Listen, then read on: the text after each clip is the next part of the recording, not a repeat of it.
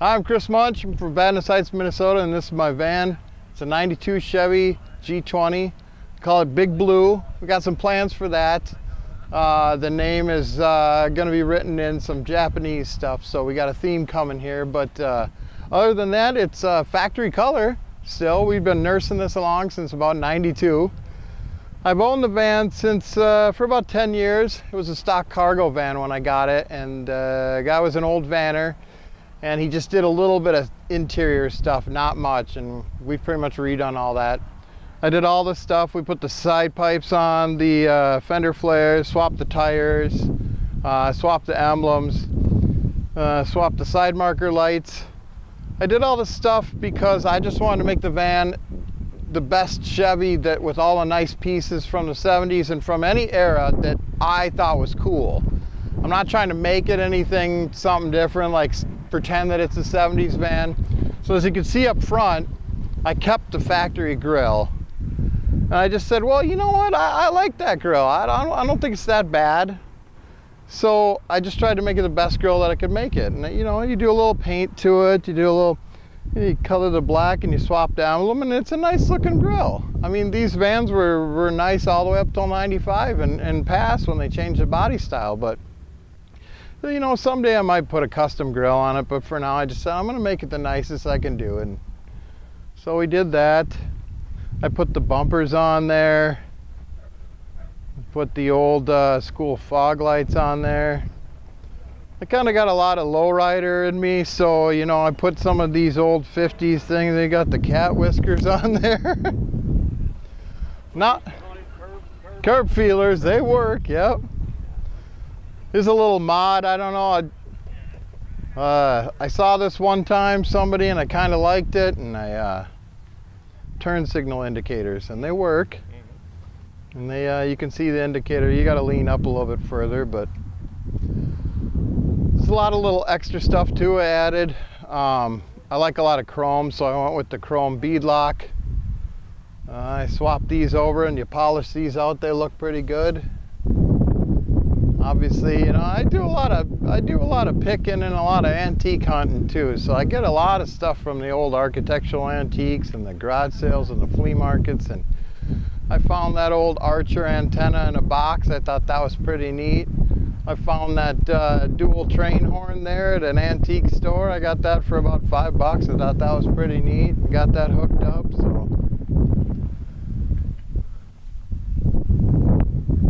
As you were talking about what these little things are, these are Castar air scoops. They're from the 50s. You can get them now. They reproduce them too, but these are the original. And they do work too. When you open the wing window, they scoop it in.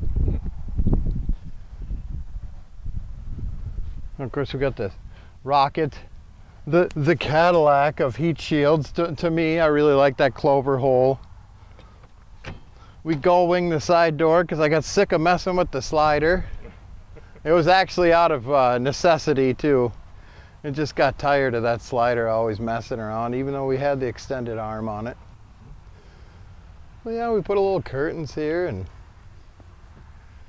ah, the Griffin. I bought that for the wife in an antique store. She likes griffins. So I put that, we were gonna mount it on our wall and I said, honey, are you gonna let me put that in the van? She said, yeah, I suppose we could put that in the van. So I got a chrome griffin in the van. I don't know where it came from.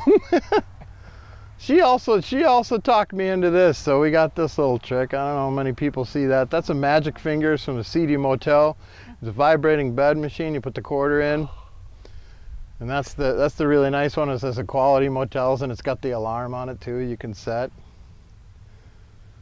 Yeah, a lot of the other stuff too. These these little lights and these these things. I just you know I've been picking those things up for years. I just I'm a light guy. I like a lot of different lights and let me crawl in there and light it up for you here.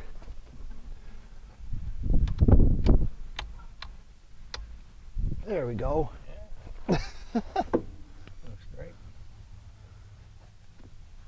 Yeah, we got the swag lights back there. It's got a little bit of everything from family. That's uh, those little uh, T-light side uh, shelf units there from my grandma. Got some other pieces in here from my grandpa too. I, I can't find what they all are. Yeah, we just threw that shelf. This whole interior we did in about, I, I just did it in about 40 days. We just slapped that shelf together. I actually had that stained glass in my house and I thought, oh, I got a use for that. So I threw that up there and we thought that, lo that looked pretty cool. We might redo it someday, but sometimes people say, what the heck is that on the ceiling? That's a 1950s gull wing towel bar. We're gonna put a light in that, so. There's a lot of little extra tricks here and there. We got the, uh, like I said, I really like to shop at architectural antique salvage places. So I said, I need a, I need a, uh, you know, a curtain rod with some style. So I went and got a real brass one and we got the little brass keepers with the little flower. You know, and I, I made it into a, a rod for the uh, curtain. TV up here. Oh yeah, I got a little TV up there too. You're just getting the the lines right now, but yeah, yeah I got. I, you know, and I'm not really, I'm not really too exclusive of any era. I mean, there's there's every era from the 50s all the way up to 2000 in parts in here. That TV is from actually from a 92, so that's that's period correct mm -hmm. for my 92. But you know, majority of it is 70s theme because that's the kind of stuff that I like. Oh yeah, yeah. Some of that stuff is just from my uh, piles of hoarding tacky 60s and 70s uh, mid-century modern Americana type stuff.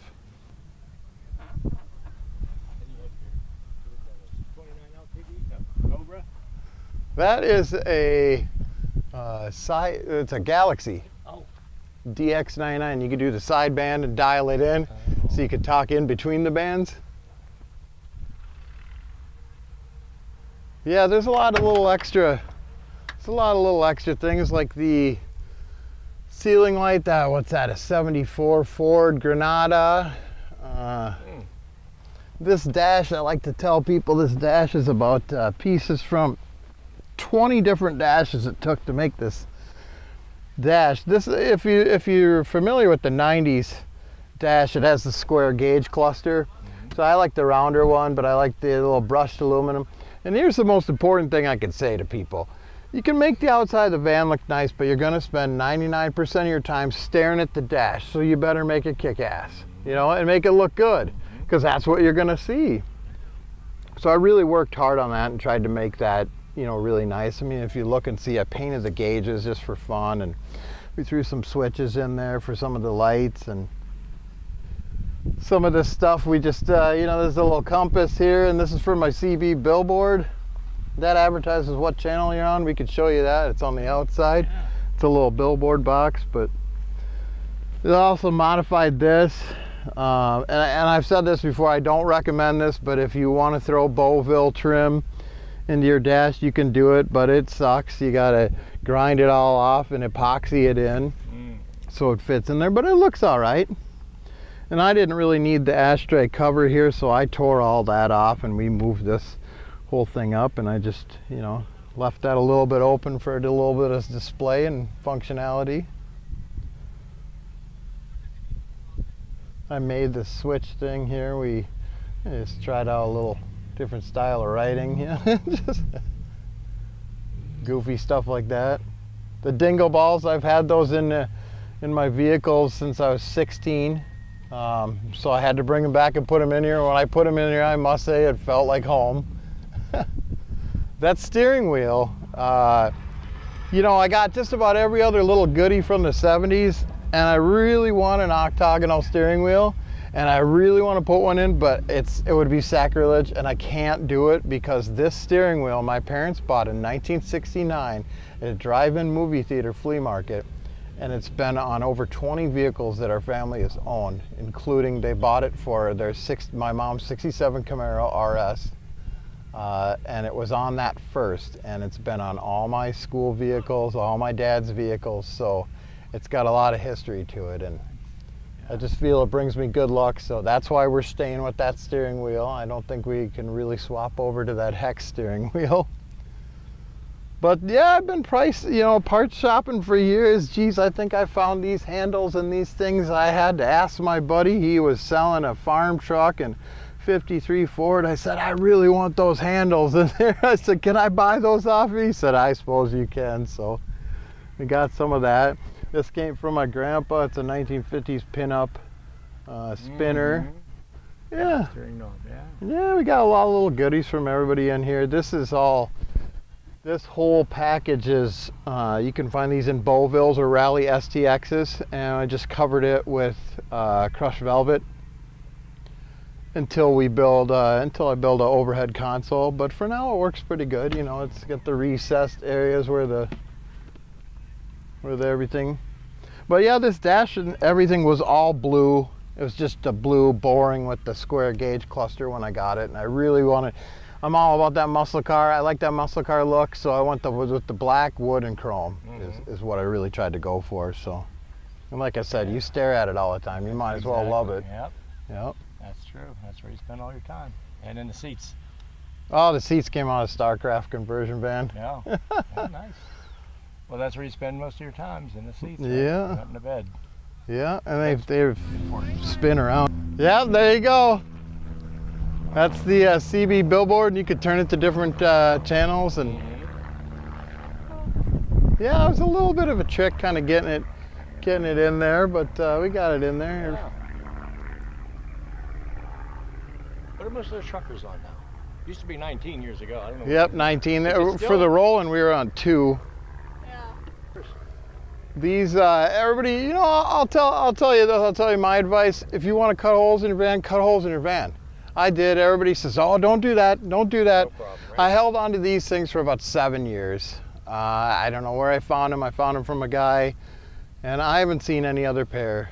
Uh, there's a few that were on Ace of Spades van, uh, and that's the only other ones I've seen And they don't leak, right? they don't leak. Um, but I would say that was one of the most challenging things that I did was to get this right. Uh, it took a lot of doing because the portal goes like this, but it's twisting because your body goes like that. So yeah, I probably uh, took some life off my knees doing this. Jump back of it to turn a screw one time. You go look, you make sure. And it's attention to detail. You got to look and make sure that the body isn't pulling in right there. And it took a lot of wood blocks and nice plane going over. But you know, you have to put the wood blocks around and stuff like that. But uh, you know, don't don't be afraid. I mean, if you want to do it, just do it and take your time and do it right. And you know, measure 50 times and have a beer and then start cutting. The the jet wing? Yeah, I'll let uh, I'll let that remain a mystery. Not many people guess what that is, but uh, yeah, I found that. I measured that out, and I thought that that would fit just about right, so I threw that up there. But I'll let you guys guess what kind of wing it is. Got to be off a car, some kind of car. Something. But yeah, we got the swag lights in here. Mm-hmm. They're fun when you're driving down the road. Mm-hmm. yeah. You got your color wheel going there. Oh, the disco wheel, yeah, the disco wheel. And the, the cat clock with the little eyes. Yeah, all the little fun stuff. Oh, you gotta fix this mirror here, huh? So this is some candy fur I decided to try out uh, when I tried to redo the interior a little bit better and uh, it works out pretty good. You draw little faces in it and But yeah, you can glue it. I had to glue it a little bit. You know, it needs a little bit of work and staple, and then you can cut it and put the screws in. It's all on that perforated hole uh, backer board, so you can kind of look through it and see where you got a body line that you can screw into. The top is about two different panels, and then you can just lay there and you can look through and see where your where your joists are, and then you can screw into it, mark your holes. Yeah. Yeah, someday I might do button tuck or something different, but for now it works pretty good. Great. You got your custom plate. Oh yeah, Damn it. that's right. I do like Vannon because that was one of the first sites that I went to to find out about the whole movement was Vannon. Mm-hmm. And I uh, joined as a member back in probably 2006 or something.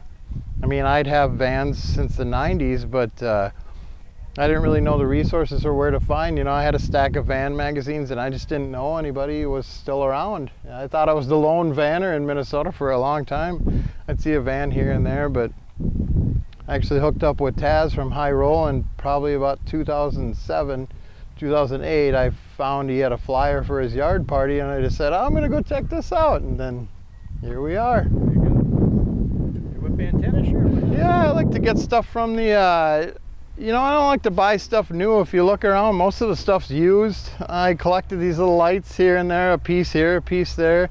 And this is no exception. I got this off a big old Mack truck in the junkyard. It's a Motorola one. We just cleaned it up. It's got the cool brass and I threw it up there. And some people ask, well, if you got those antennas up front, well, what does this control? Well, this runs my uh, police and fire scanner.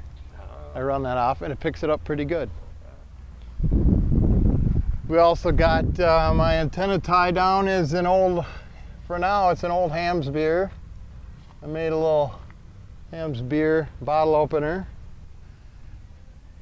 It's cool, but it's really hard to kind of get through that tempered steel. It's pretty strong steel, so to grind that out a little bit, you know, eats up your bits a few times.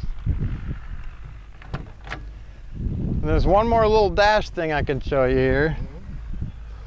You know, I don't be afraid. You don't always have to just shop for van parts at Vans. You can get them from anywhere. So when I was scrapping out my 88 Jeep Cherokee, I thought, well, what can I use off this? Can I use anything for the van? Well, you sure can. This drops right into your Chevy. So if you want to add a little style to your tilt steering wheel knob, 88 Jeep Cherokee. There you go. There's a little trick for you. Yeah. Like that. And 70s light pull and cigarette lighters look great. So I swapped over to those. Because I grew up with that stuff. I like it. I think it's it reached perfection there. I didn't like those chrome knobs, so I swapped over to that. And we put the chrome on here and a little extra stuff. Still got to swap over to this uh, chrome, but this is also one of the monikers of the van. This is says custom. I found this at uh, flea market. There was two of them, and nobody to this day can tell me what emblem this is on. So if anybody watching this knows what emblem this is, feel free to let me know.